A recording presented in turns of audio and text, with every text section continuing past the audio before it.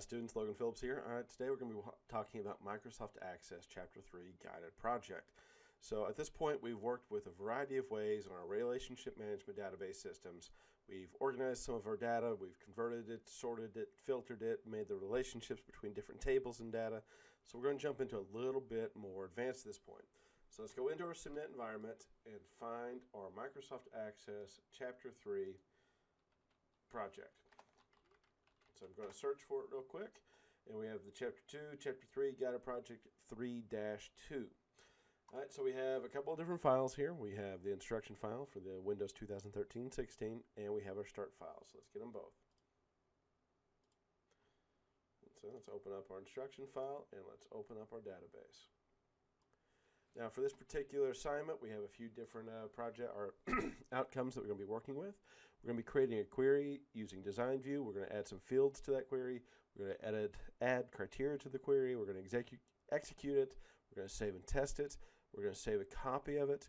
We're going to add a parameter. We're going to use an aggregate functions, and we're going to use some unique value properties.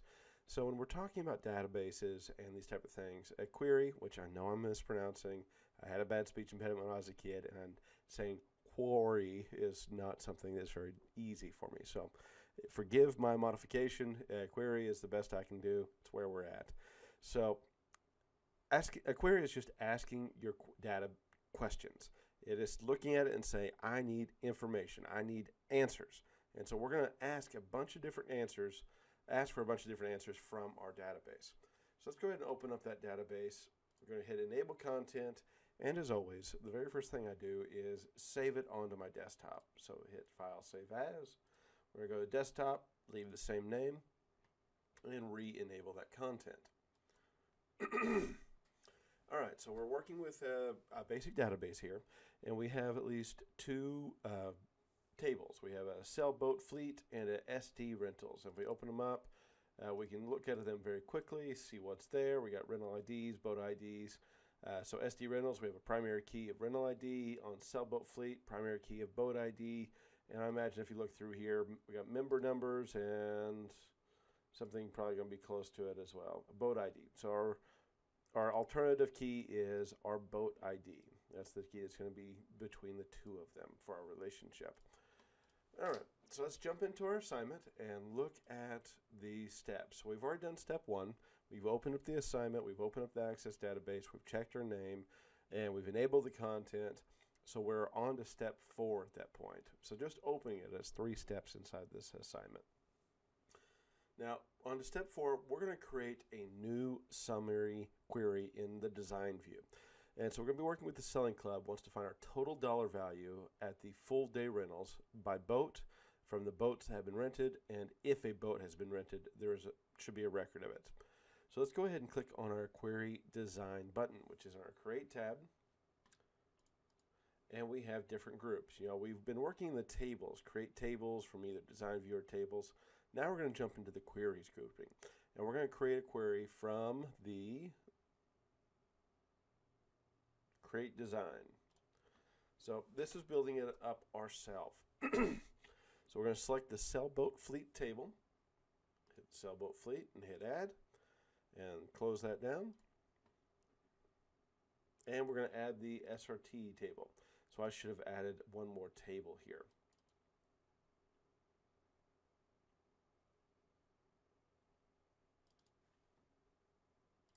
Now, since I had added too quickly, I made a quick, easy mistake. I'm just going to right click in the gray spot and I'm going to come down here to show tables and open that menu back up. And in show tables, I also want to throw in our SD rentals. So because this is a relationship database, we have a one-to-many relationship, we can actually ask questions from multiple tables inside Excel, not just from the individuals. so we are on step four, and we have gone down through step E now. So here we're going to increase the size of the table objects to display all of the fields. Uh, we're going to click the drop down arrow in the first field row cell of the query design grid and select SD rental. And it's going to be KF boat ID. So we got SD rental, KF boat ID. We're going to click on the second cell and we're going to add SD sailboat fleet boat type. So sailboat fleet boat type. Now you can see here we have this field name. So we're creating a different question for uh, the Access database right now. And so I'm just clicking on them one at a time. I could have came up here. Uh, let's extend these out a little bit. And just double clicked on them as I needed. But they wanted you to go specifically through the drop down menus. In our third cell, we are going to do a drop down and we're going to choose the sailboat fleet full day rental rate. Sailboat fleet and full day rental rate. There we go. On the fourth cell, we're going to do SD Rentals four hour rental. So drop down SD Rentals four hour rental. So again, I have just gone through clicking individual ones to insert these inside of our given query. Next, we're going to click on the Totals button, which is inside the Query Design tab, and it's in the Show Hide Groups. And so we're in here on the Design tab, and on the right-hand side, we have the Show Hide, and we're going to insert a Totals. Now what this does is inside of our query, right below the table, it's going to insert a totals grouping so we can group these into different styles of totals. Then let's go ahead and run this query and see what comes up. So again, design tab, left hand side, in the results, we're going to run.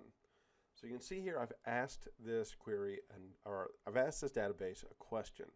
What kind of boats, boat IDs, full day rentals, and who has a four hour rental? So it comes through and it tells me, you know, uh, Catalina 270, boat ID 110, has a four hour rental and it's $179 for a full day rate. So we can start getting really specific questions from multiple tables.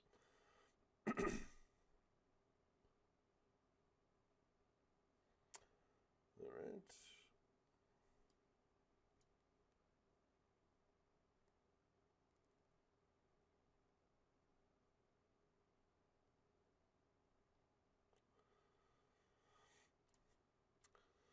Okay, the next step we're going to be doing is modifying some aggregate functions here. Uh, because we're only looking for rentals that were for a full day, we're going to use the no value on the four hour rental field. So we're going to click on the view button and we're going to go back into that design view. So let's go up here. We have view, SQL view, and design view. And so we're going to modify this a little bit to only do a certain very specific manner. we're going to click on the total row for the full day rental rate field. So we have four hour full day rental rate. And we're going to click the drop down arrow and we're going to select the sum. So let's go total row, full day rental rate. Instead of root by, we're going to come down here and we're going to choose a sum function. So these functions work very much, are very similar to the way that they work inside Microsoft Excel. But this is how Access Database can do mathematics a little bit. It is a little restricted, and it does take a very different mindset than a lot of the other our Office products. But you can do mathematics here when you're asking questions of your data. Next, we're going to click on the total row for the four-hour rental field, and we're going to choose select where. So four-hour rental, we're going to choose that total field, and we're going to choose where. Uh, this causes the show row checkbox for the four-hour rental field to be deselected. now, we're going to click next on the criteria row for the cell for the four-hour rental, and we're going to enter the word no. So we come down here, and we have a criteria, and we're going to come to criteria, and we're going to click on, or just type in the word no. Now, once it does this, it's going to automatically return a function for us. No.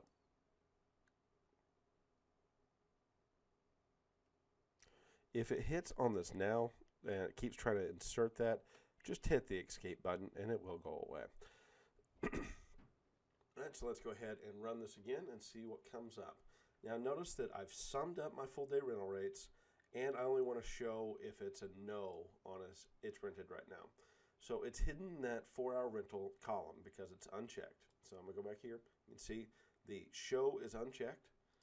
And so now I have a sum of value that it's been rented for. Yes, it's been rented. No, it's been not rented for four hours. And how much money we're asking or getting for this full hour, full, uh, full day rental. All right, let's go back. All right, so now we're going to save this because we want this question has been asked. Uh, we want to save the information so we can give it to other people. So we're going to click on the save button and we're going to save it as a full day rental by boat summary. File, I'm sorry, save. And we're to name this full day rentals by boat. Make sure you spell it right. Summary. And don't put in the period. The period does not go in here. And hit OK. Now, we're going to verify next that the query works correctly. We're going to open up the SD rental table in Datasheet View. So let's go ahead and SD Rentals. We're going to right click on it and we're going to choose to click on Open. And we're going to click on the drop down arrow in the boat ID field name cell. So let's go here, boat ID field name. And here we are going to sort this from A to Z. Now, so we're putting in alphabetical or alphanumerical order, which means 1, 2, 3, 4, A, B, C, D, so and so. So we've sorted it from A to Z, and we are now on to step 7D. We're going to click the drop down arrow in the 4 hour rental name cell, and we're going to select the sort cleared to select option. So let's go here to the 4 hour rental. We're going to use our radio button on the right hand side, and we're going to select sort cleared to selected. Okay. And so we can see here that boat ID 1010 has a total of five full day rentals. So we can see here boat five, one, two, three, four, five. So there's five of these right here. One, two, three, four, five. So five of these guys have a full day rental. And at $179 a piece times five gives us an $895 for boat 1010 of our complete summary. So if we come over here, boat 1010, $895. Our data matches up between the two of these. Next, we're going to remove these sort buttons from the Home tab. So Home tab, sort and filter. Let's go ahead and remove our sorts. And we're going to close the SD rental table. So that's really just showing you that and we're not going to save it. Okay. The, the data does match up. So we could have gone through and hand calculated all that, or we can ask the table to give us the information we're wanting. And that's what databases really are to ask really complex questions so that we don't have to do everything by hand. It is extremely capable and more so than Microsoft Excel, but it does take a little finagling. So at this point, we are on to step eight, and we're going to save a copy of the query. And we're going to click on the Save As button and Save Object As. So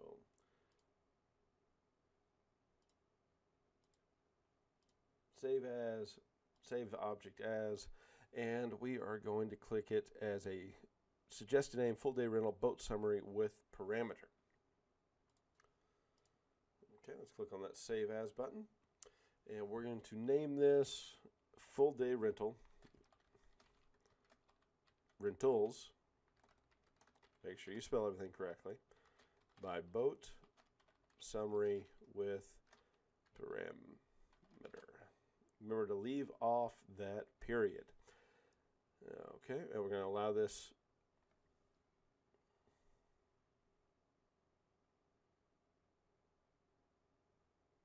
and hit OK. So what we've done is we've created a second summary. Our second query, we have the full day rental boat summary, and now we have a full day rentals uh, boat summary with parameter. So we're going to modify this query a little bit so that they can actually put in a little bit of date ranges and get specific information about the, the, the stuff. So we're going to edit this query. We're going to click on the View tab, or the View button, which is the Home tab, Views group, and we're going to choose Design View. So home tab, and we're going to go into our Design View. All right, and so this design view looks a little different than our tables design view because it has that relationship up top, but it's still just how things need to look versus actually working with the data itself. So we're on to step nine here.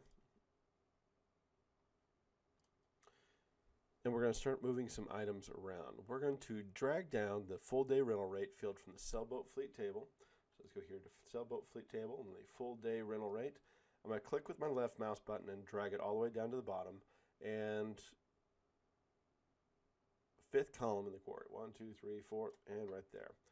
So we got we've dragged it down directly from the fifth column. So we've seen two day, two ways I can do this now. I can do the drop down menu, choose it from the list, or I can physically click on it and drag it, hold, and drag it down.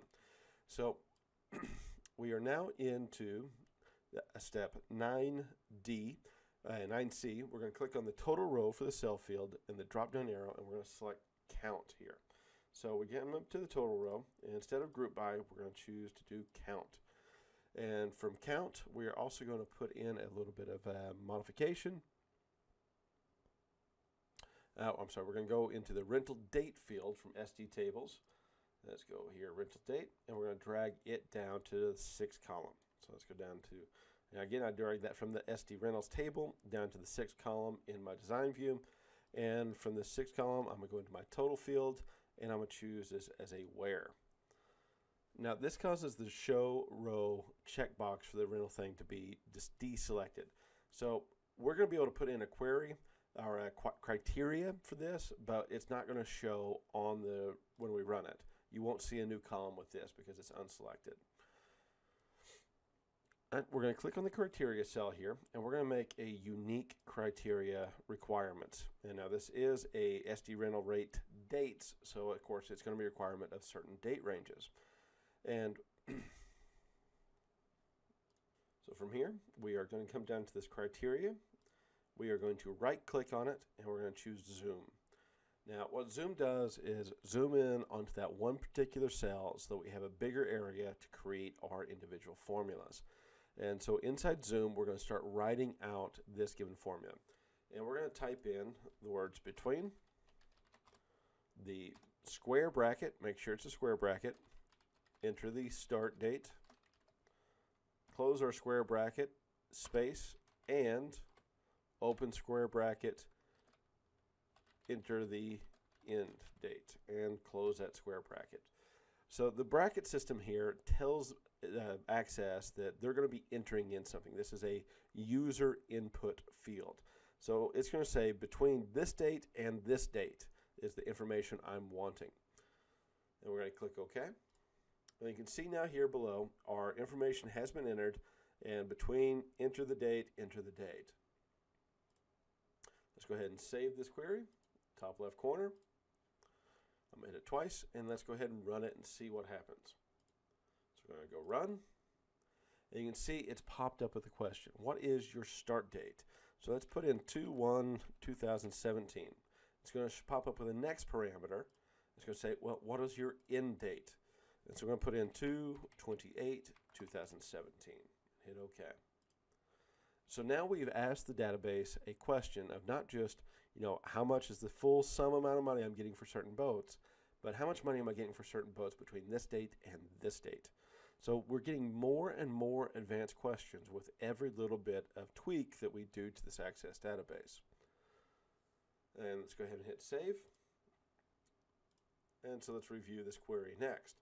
So we've gone through all through step 10G at this point. You should have one, two, three, four, uh, starting with 1010 going to 1185 um, on your query results.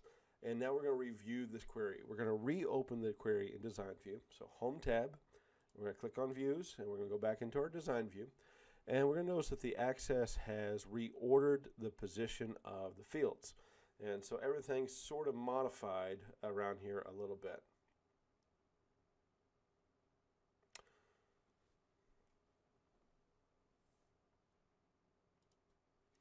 Or if you're like me, Access didn't modify your fields like it should have. What could have happened to your Access database here is everywhere it has one of these where fields, it should have moved it to the far right. If it didn't, that's fine. If it did, that's also fine. It doesn't actually change the way the data sheet runs or the query runs at all. Um, sometimes it works, sometimes it doesn't. Um, sometimes it doesn't, sometimes it does. Uh, I'm sorry, that's Microsoft Access in a nutshell. All right, so let's just go ahead and close this query out. So let's hit close. And next on step 12, we're going to create a new query in Design View. The Sailing Club wants to find out what, what boat types have been rented so it can decide whether to adjust pricing or marketing on some of its boat types. If a boat has been rented, a record of that rental exists in the SD rentals table. So let's go ahead and click on the Query Design button. So we're going to go to our Create tab. We're going to go into our Queries grouping and click on the Query Design button. Again, I apologize for mispronouncing this word. I, who I am. and then we're going to select the SD Rentals table. And then we're going to hit the Shift key, and we're going to select the sailboat fleet as well. And let's go ahead and add them both together and close out that show tables. Now I'm going to head and extend these out uh, to show all the individual pieces in them. Uh, but, and I'm going to move it over so you can see that it is a one-to-many relationship. One boat ID uh, to possible many people renting that boat.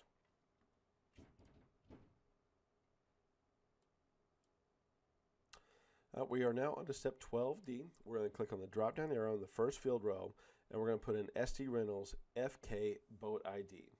So let's do the drop down menu, SD Rentals, FK Boat ID.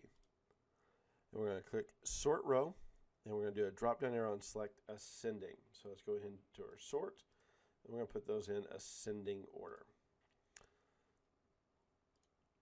Next on step 12F, we're going to click the second cell, and we're going to choose Sailboat Fleet Boat Type. So let's do Sailboat Fleet, and we're going to do Boat Type.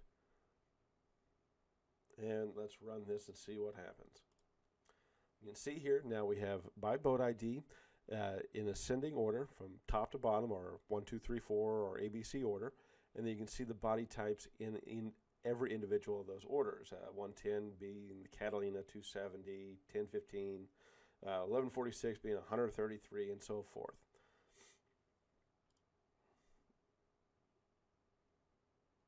Now, you should notice here that there's a number of instances for the same boat ID. Like boat 1010 has happened repeatedly times, and that's because boat 1010 has been rented multiple times.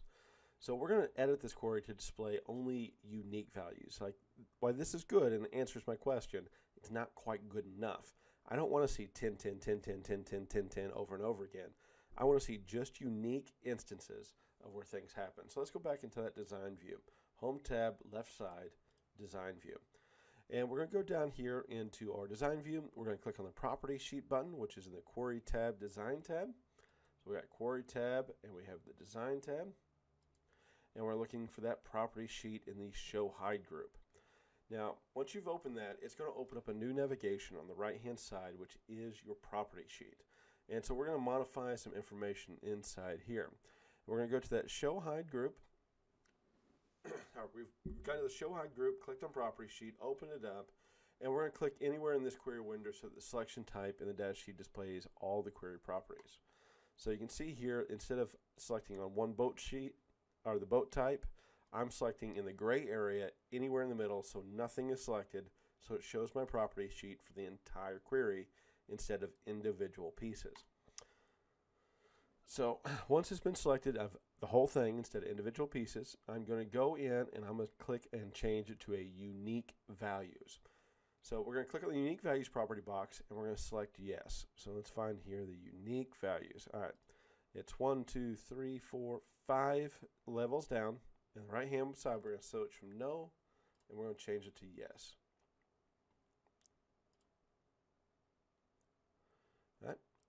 Let's go ahead and next close that property sheet. You can either hit the X or you can come up here and hit the tab and close it down.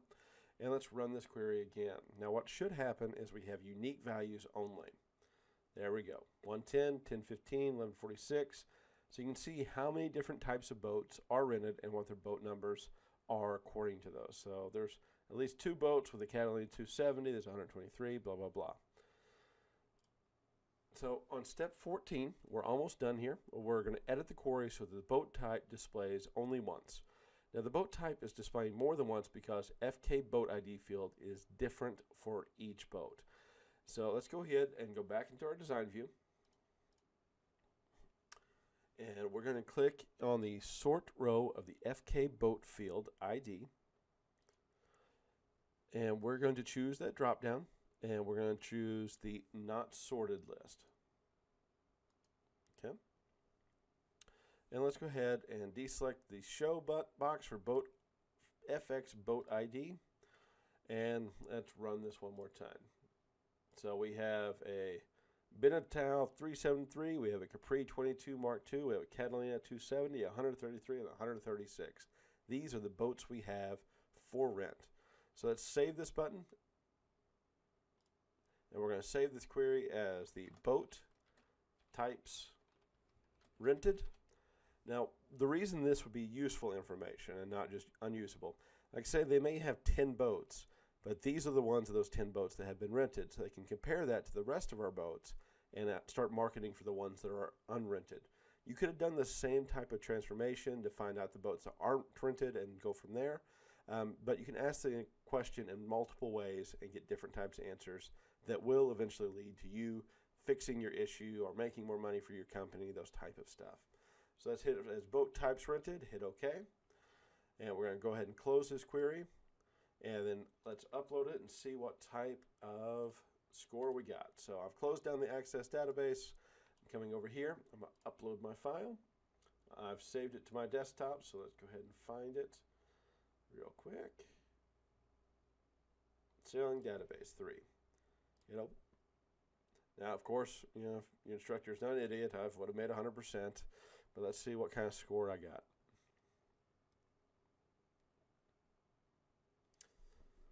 And we got 100%. So, see, I don't always make mistakes, but sometimes I do. I'll always admit to those when I do. If you follow along with this, the queries are just ways of asking questions of your data. Now, this type of stuff can get a whole lot more advanced and a whole lot more special. Uh, we can make fields and answers, and we can make handouts and all kinds of really cool stuff. Now, I get into that in my advanced access classes. Um, if you'd like to follow through, or if you'd like to learn a bit more about access, I'll gladly share it with you on the uh, above and beyond section of Blackboard. Just let me know. All right, I hope this helps. We've got, covered uh, Access 1, 2, and 3 at this point.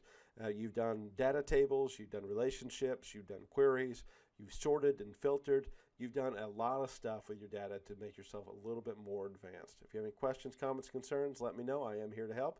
I am a professor. Have a very good day. Have a very fruitful day.